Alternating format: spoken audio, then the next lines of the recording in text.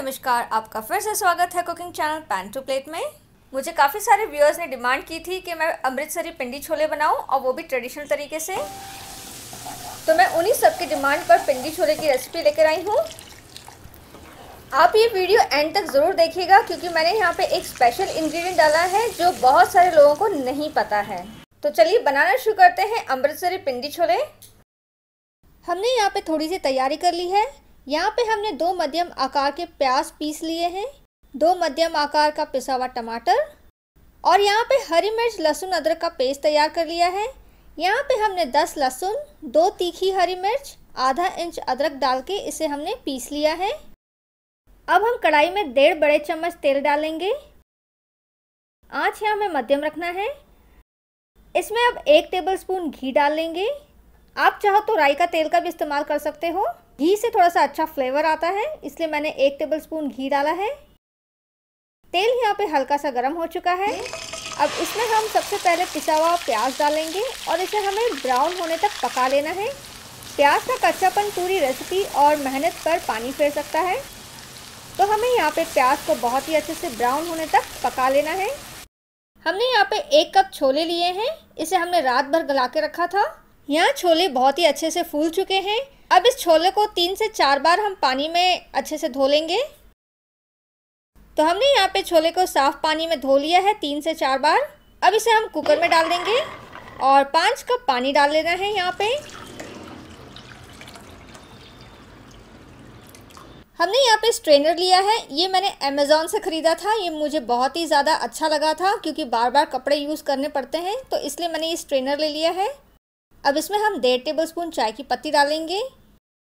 तीन लौंग, आप यहाँ पे लौंग की मात्रा ज़्यादा भी कर सकते हो। छोटी सी दालचीनी, हम यहाँ पे दालचीनी की मात्रा बहुत ज़्यादा नहीं करने वाले हैं क्योंकि दालचीनी बहुत ही स्ट्रांग होती है और इसका पूरा फ्लेवर दालचीनी से भर जाएगा छोले का। इसलिए हम दालचीनी की मात्रा थोड़ी कम ही लेंगे।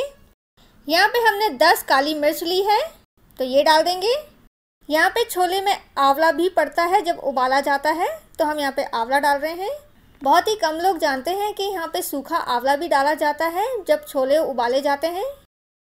तो हमने यहाँ पे करीबन 12 से 13 सूखे आंवले डाल लिए हैं। अब स्ट्रेनर को हम बंद कर देंगे।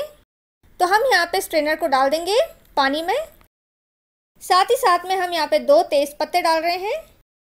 अब यहाँ पे हम आधा टीस्पून से थोड़ा कम नमक डालेंगे। तो मैं यहाँ पे छोले के उबालने के लिए सोडा नहीं डालूँगी, क्योंकि हर वक्त सोडा की ज़रूरत नहीं होती है। बिना सोडा के भी काम चल जाता है और बहुत ही अच्छे से चलता है। तो अब कुकर को हम यहाँ पे बंद कर देंगे और यहाँ पे इसे पाँच सीटी दे देंगे। तो प्याज यहाँ पे पूरी तरह से ब्राउन हो चुका है, पूरी तरीके से कैरमलाइज हो चुका है और खुशबू काफ़ी अच्छी आ रही है प्याज में से। अब इसमें पिसा हुआ हरा पेस्ट डालेंगे। और साथ ही साथ में टमाटर का पेस्ट डाल लेंगे। हमें यहाँ पे टमाटर तब तक पकाना है जब तक ये मसाला तेल छोड़ने ना लगे। यहाँ पे हमें इसे ढक के नहीं पकाना है। तो देखिए यहाँ पे मसाला पूरी तरह से तैयार हो चुका है और तेल किनारे पे दिखने लगा है। आँच यहाँ पे हम धीमा कर लेंगे। अब इसमें हम पाउडर मसाले डालेंगे। अब इसमें हम एक टेबलस्पून छोले मसाले। आधा टीस्पून गरम मसाला। मैं यहाँ पे किचन किंग का मसाला यूज़ कर रही हूँ तो ये थोड़ा सा तेज़ रहता है तो यहाँ पे मैं आधा टीस्पून का इस्तेमाल करूँगी। एक टेबलस्पून लाल मिर्च पाउडर एक टेबलस्पून धनिया पाउडर अब इसमें मैं बहुत ही ज़्यादा खास चीज़ डालने वाली हूँ। ये है पॉमेग्रेनेट यानी कि अनारदाने का पाउडर मैं यहाँ पे दरदरा अनारदाना का इस्तेमाल नहीं कर रही हूँ, मैं यहाँ पे पाउडर का इस्तेमाल कर रही हूँ, ताकि अच्छे से ब्लेंड हो जाए मसालों में, अच्छे से घुल मिल जाए। तो यहाँ पे मैं एक टेबलस्पून अनारदाना पाउडर डालूँगी। साथ ही साथ में आधा टीस्पून अमचूर पाउडर मैं यहाँ पे बहुत ज़्यादा खट्टा नहीं करूँगी, नहीं तो इसका फ्लेवर बहुत ही ज़्यादा खट्टा हो जाता है। इसमें एक हल्का सा माइल्ड फ्लेवर होना चाहिए, क्योंकि हमने पहले आंवला भी डाला है तो हम यहाँ पे बहुत ही ज़्यादा खटास नहीं डालेंगे। अब सभी चीज़ों को अच्छे से मिला लेंगे, और करीबन एक मिनट तक हम इसे पका लेंगे बिना ढके।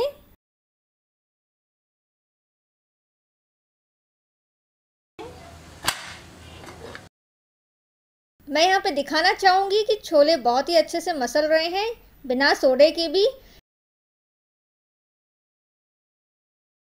तो हम यहाँ पे स्ट्रेनर को हटा देंगे।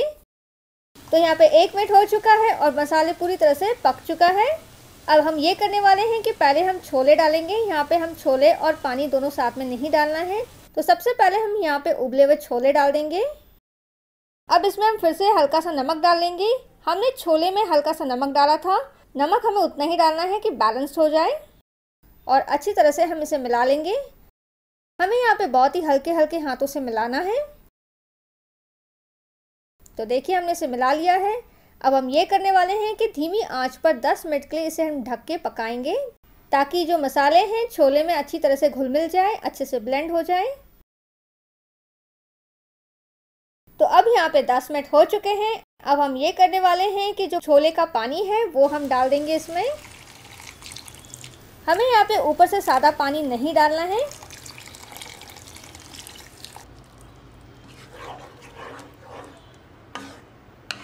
अब हम यहाँ पे इसे ढक देंगे और 15 मिनट तक इसे धीमी आँच पर पका लेंगे और। तो देखिए, पिंडी छोले परफेक्टली तैयार हो चुके हैं और इसमें अच्छे से उबाल आ चुका है।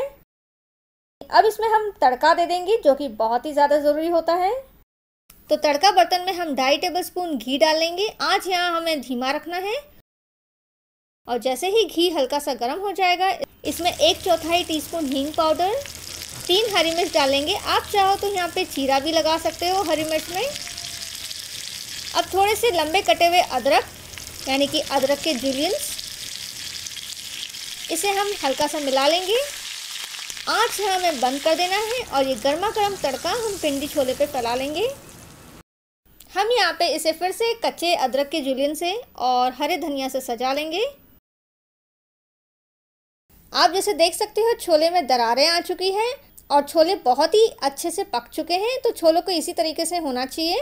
हमने यहाँ पे छोले को बिना सोडे के उबाला है और बहुत ही आसानी से उबल भी चुके हैं। तो बहुत ही स्वादिष्ट और दिल खुश कर देने वाला पिंडी छोले की रेसिपी तैयार है। मैंने बहुत ही यहाँ पे सरलता से बनाने की कोशिश की है कि बहुत ही ज़्यादा मसाले ना हो और पिंडी छोले बहुत ही आसानी से बन भी जाए। तो मैं उम्मीद करती हूँ आपको ये अमृतसरी पिंडी छोले की रेसिपी पसंद आई होगी। आप ज़रूर घर पे ट्राई कीजिएगा और आपका मूल्य फीडबैक दीजिएगा। शुक्रिया, धन्यवाद। Have a wonderful day